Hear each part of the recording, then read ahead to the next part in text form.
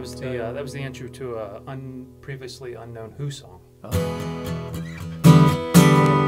Whatever you just did, it's like I, it, welcome. It, it was left on the cutting room floor of uh, the Tommy Rock Opera. Oh, well, it sounded beautiful, and. Uh, what a great guitar. Yeah, welcome, this Quentin. is uh, very gorgeous. Yeah, Very Paul gorgeous, here, Music Villa. nice. We're in Bozeman, Montana, and uh, you know we haven't done a hummingbird in a while. And what's cool about this one is you know, okay, you got your hummingbird. When you normally see a hummingbird, it's the vintage cherry. Mhm. You know, it's, it's a pretty red guitar. Some people love it. Some people are like, eh. But you can't deny the fact that the hummingbird is just such a good sounding guitar. And It I've always asked them in, over the years. I said, "Why can't you just make just make a guitar, just a square shoulder guitar, no birds, no nothing, no red?" And they've tried that, and it just for some reason they never sell. But they're amazing sounding guitars. It's a mahogany back and side, spruce top.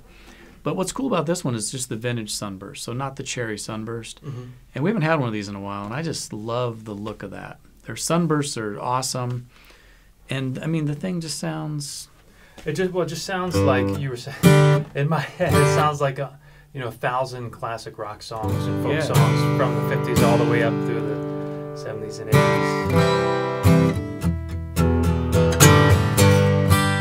I mean, are- in the '60s, that was that was a huge guitar in the '60s.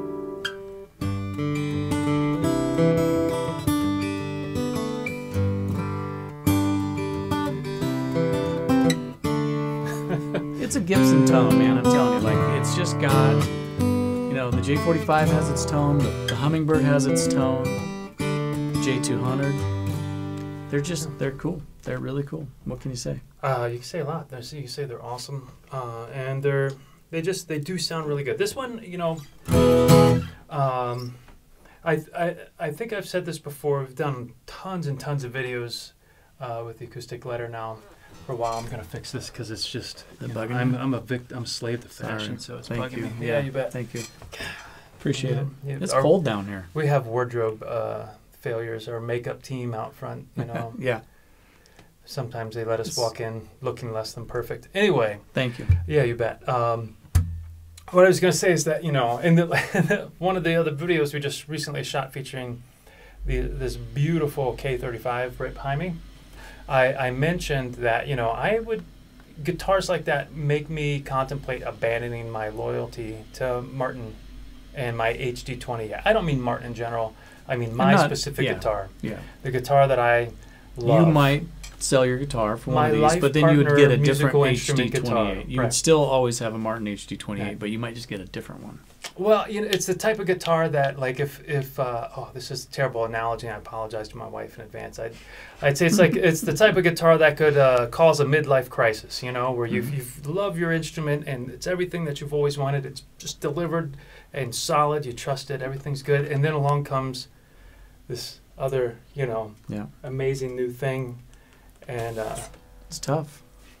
It's, a Yeah, tough, it's tough out there. it, I'm not saying you should do it. yeah. I'm just saying I can I can see why people would Yeah. want to. There's a reason why you need many guitars. Yeah, All well, right. see, yeah, Yeah. that's just I uh, always that's tell where the analogy fails. here. One one wife, many guitars. And One then, you know, wife, then, many the, guitar- then it's got to be yeah. the right wife then, or you go. spouse, husband, whoever, who can tolerate that that addiction. But uh, Well, cool. Well, that's great. That's a hummingbird, and Yeah. it's a standard Gibson hummingbird. They're making incredible guitars, and uh, we'll get to the end. Speaking of D28s, I got a guitar for you. We're gonna do it next. I got Uh-oh. a guitar that could make you abandon yours. So stay tuned. that's the new running theme of the show. Yeah. Is we're gonna find a guitar that's Yeah. gonna make Quentin give up his HD28. Yeah, I think I got it. one. That's a tough sell. Okay, we're gonna do it next. Quentin, right. thank you. Thanks You everyone bet. for watching.